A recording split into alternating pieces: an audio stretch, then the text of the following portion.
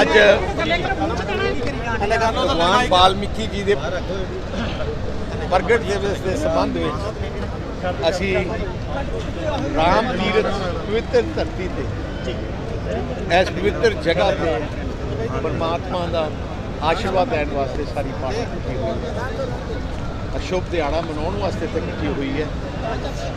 ਤੇ ਮੈਨੂੰ ਬੜੀ ਖੁਸ਼ੀ ਹੈ ਕਿ ਰਾਮ ਤੀਰਥ ਦੀ ਇਸ ਪਵਿੱਤਰ ਧਰਤੀ ਨੂੰ ਐਡੀ ਵਧੀਆ ਜਗ੍ਹਾ ਬਣਾਉਣ ਦੀ ਸੇਵਾ ਮੇਰੇ ਪਿਤਾ ਬਾਦਲ ਸਾਹਿਬ ਨੂੰ ਮਿਲੀ ਤੇ ਦਿਲੋਂ ਉਹਨਾਂ ਨੇ ਸੇਵਾ ਕੀਤੀ।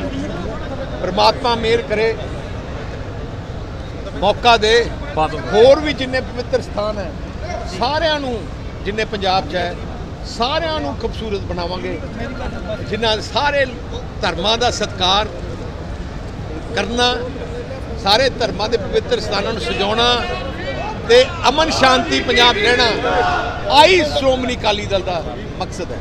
ਹਾਂ ਸਰ ਜਿਹੜਾ ਬੀਐਸਐਫ ਦਾ ਦਾਇਰਾ ਵਧਾ ਦਿੱਤਾ ਕੇਂਦਰ ਸਰਕਾਰ ਨੇ ਪਹਿਲੇ ਤਿੰਨ ਖੇਤੀ ਕਾਨੂੰਨ ਲਿਆਂਦੇ ਉਸ ਤੋਂ ਬਾਅਦ ਹੁਣ ਬੀਐਸਐਫ ਦਾ ਦਾਇਰਾ ਵਧਾਤਾ ਮੈਂ ਇੱਕ ਹੋਰ ਵੀ ਕਰਨਾ ਹੈ ਭਗਵਾਨ ਵਾਲਮੀਕੀ ਜੀ ਦੇ ਨਾਂ ਤੇ ਇੱਕ ਬਹੁਤ ਵੱਡੀ ਅੱਜ ਦੁਆਬੇ ਵਿੱਚ ਯੂਨੀਵਰਸਿਟੀ ਬਣਾਈ ਜਾਊਗੀ।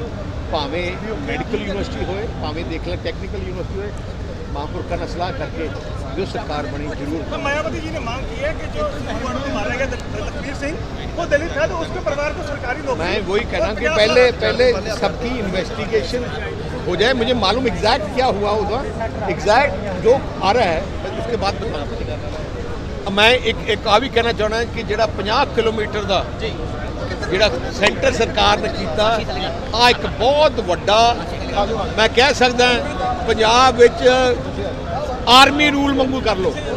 ਅੱਧਾ ਪੰਜਾਬ ਹੁਣ ਸੈਂਟਰ ਦੇ ਕੰਟਰੋਲ 'ਚ ਆ ਗਿਆ।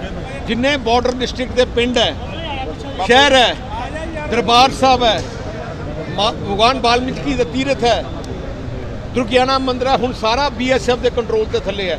ਜਦੋਂ ਮਰਜ਼ੀ ਚਾਹਣ ਅੰਦਰ ਵੜ ਸਕਦੇ ਹੈ ਇਸ ਇਲਾਕੇ ਵਿੱਚ ਜਦੋਂ ਮਰਜ਼ੀ ਚਾਹਣ ਫੜ ਕੇ ਅੰਦਰ ਕਰ ਸਕਦੇ ਹੈ ਉਹਨਾਂ ਦੀ ਕੋਈ ਸਟੇਟ ਪਾਵਰ ਹੀ ਨਹੀਂ ਹੈ। ਫਿਰ ਆਪਾਂ ਸਟੇਟ ਐਂਡ ਦੋਸ਼ੀ ਸਭ ਤੋਂ ਵੱਡਾ ਚੰਨੀ ਮੁੱਖ ਮੰਤਰੀ ਹੈ ਜਿਹੜੀ ਸਹਿਮਤੀ ਦੇ ਕੇ ਹੈ।